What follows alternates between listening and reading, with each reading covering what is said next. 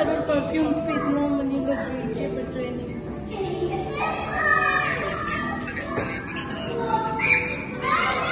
इसके लिए हमने पेंट लिया है।